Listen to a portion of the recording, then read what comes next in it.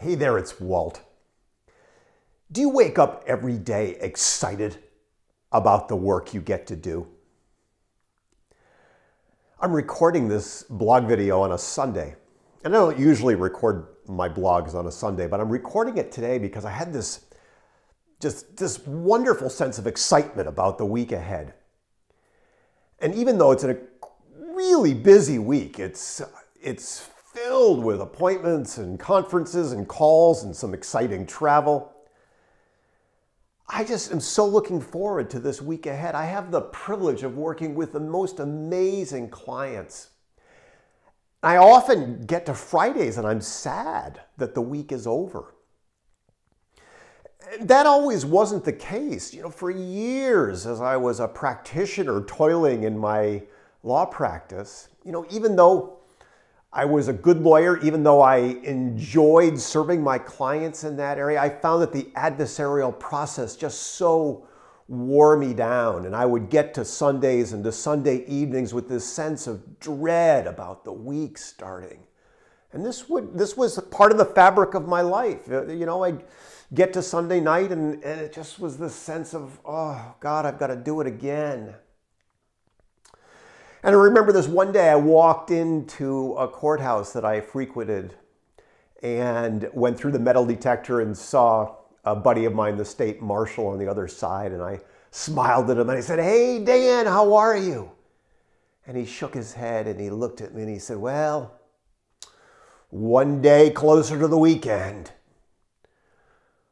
And it was Monday.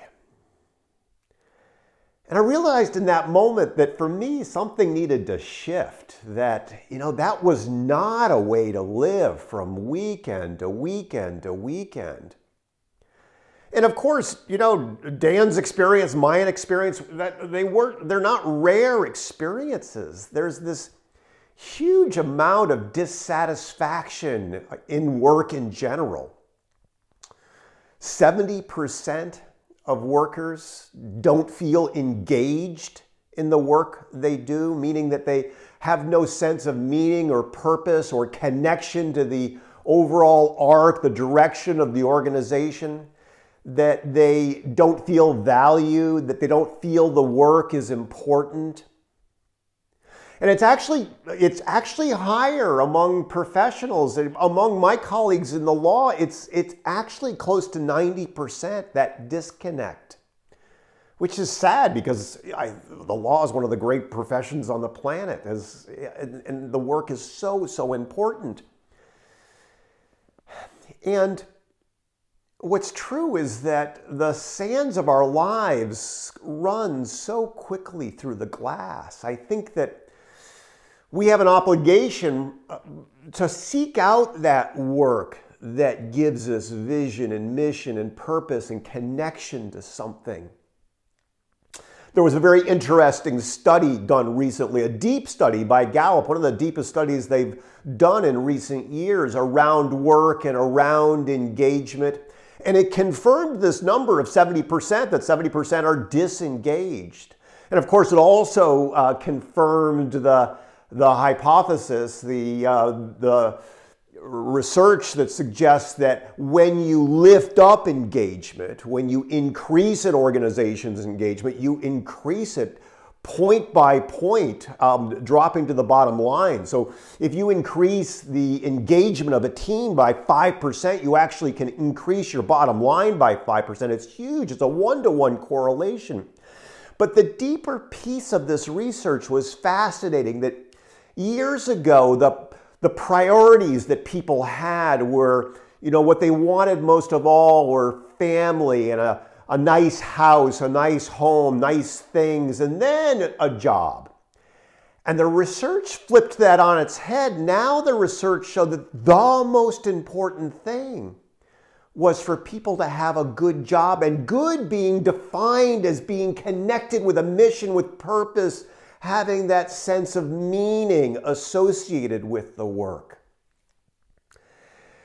And the article was interesting too because it had a clarion call uh, to management that it is the managers, it is the leadership responsibility to take the communication, take that vision and mission of the organization and communicate it with its people. And that, in and of itself, getting good mid level and upper level managers to, can, to communicate that in and of itself can raise the energy vibration of the organization.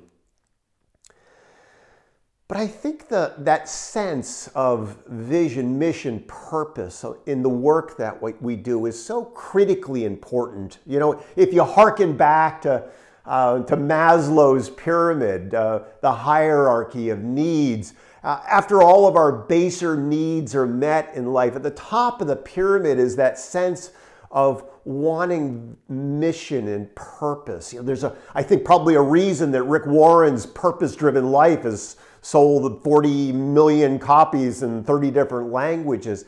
It's part of our DNA to want that, to seek for that, to, to grab hold of meaning and purpose.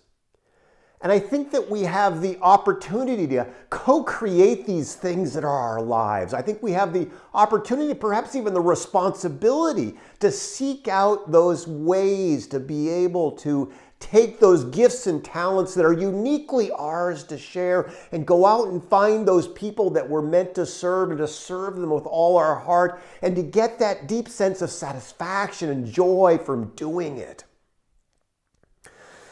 The late great Steve Jobs once said, For the last 33 years, I've looked in the mirror each day and asked myself this question if today were the last day of my life, would I want to be doing what I'm doing today?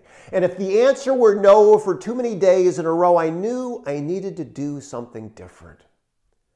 I think we all have that call to look in the mirror each day and ask that question as the sands of our lives tick through.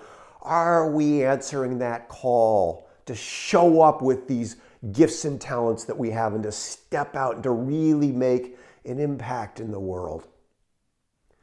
So I wish you a good week, a great rest of the day, a great rest of the week. Hold that question Am I doing work I love? Talk soon.